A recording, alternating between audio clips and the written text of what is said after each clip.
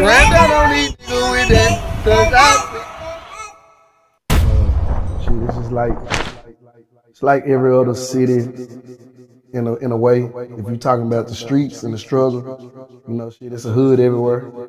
You know what I'm saying? It's a struggle everywhere. You know what I'm saying? It's a neighborhood where it's violence and crime everywhere. So, you know, shit.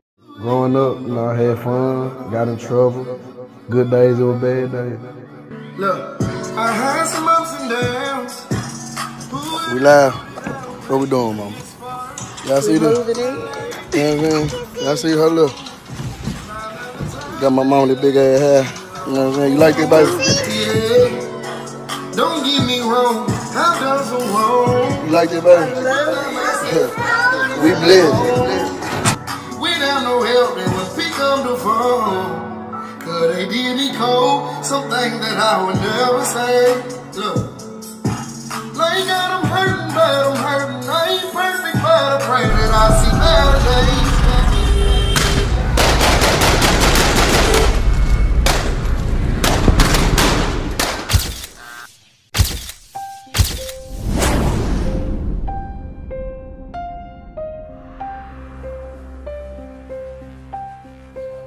Destiny is one of the parts of your life that cannot be foretold. And although your life sometimes can be confusing, it is not out of your own reach to control your destiny. Melvin Noble, aka Mo3, is a prime example of someone who took his former life and turned it into a positive for his future. Born and raised in Dallas, Texas, this Oak Cliff rapper would take himself from the bottom completely Sometimes in life, you have to go through the hardships of life in order to appreciate what you have in store for the future. Raised in the streets of Dallas, Texas, Mo3 was no stranger to the hardships of life. He was even no stranger to getting in trouble. When it came to talking about his criminal past, he never shied away from the subject. In fact, he would go to the media and in interviews explain exactly what happened. My first, my first case, aggravated robbery, deadly weapon. Yeah. I got a lot of aggravated robbery. First time, first time I go to jail.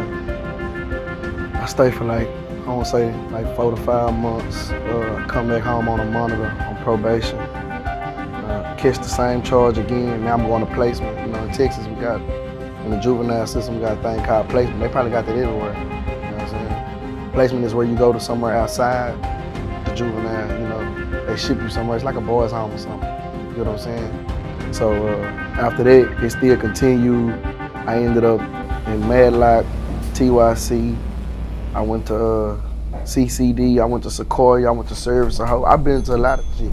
Everything, uh, every correctional facility in Dallas had for juvenile at the time. Like, mama, come to this shit. And I went to all this shit. Like, yeah, I caught, I caught four of them at 17. Four aggravated ride with a deadly weapon. I went to TDC. First time, first adult charge. Only reason they did me like this is because the juvenile charge showed the same pattern. You know what I'm saying? Mo3 would eventually be sentenced to 10 years in prison. He would only do two years for good behavior. Upon his release, he would begin perfecting his craft of rap. By 2014, he would release his debut mixtape entitled Shottaz. After slowly rising in underground rap, by 2016, Mo3 would be capturing the attention of celebrities. He would receive a call from rapper Torrance Hatch, aka Lil Boosie, in which then they would work out a management deal with Empire upon the grounds of distribution. I like Dallas. I, I like the people here. I like the women. Far as the Dallas scene, do you know any upcoming artists like in Dallas, you know, that you want to work with or how can they contact you? Uh, yeah, I'm in uh, I'm in agreement right now, uh, doing a management deal with Mo3. Mo3 out of Dallas. He, you know, they love him in Dallas, so uh, we uh, we in talks with managing Mo3 right now. And get him, you know, I just feel like if I get behind Mo3, that Boosie Badass movement get behind him, he'll get noticed. So we're gonna try to take Dallas to the top with uh with Mo3, you know. Yeah. After being vouched for by Lil Boosie, his career would begin to take off at a national scale.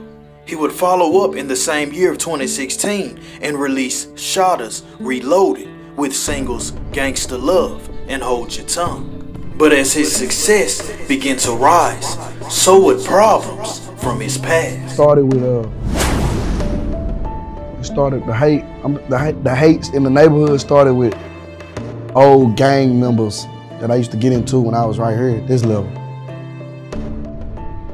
Even when that beef was dead, once I got here, they just restarted it all over again. You know what I'm saying? This was a perfect time for them to like, for them to be on. This was a perfect time for them to be heard and, you know, and it was like easy. It was right up their alley. Like shit, we didn't already beef with Mo3 before when he was just that Mo3. It, it ain't gonna be hard. You get what I'm saying? Like, you know. So that's where the hate started with that. Like, yeah. And you know, everybody ain't a fan of you. So them became haters. The people who don't like you, they became haters. So it's yeah, it circulated. But different situations, it, it, it, get realer and realer. It get worse and worse. Like so, you know. You guys They got released.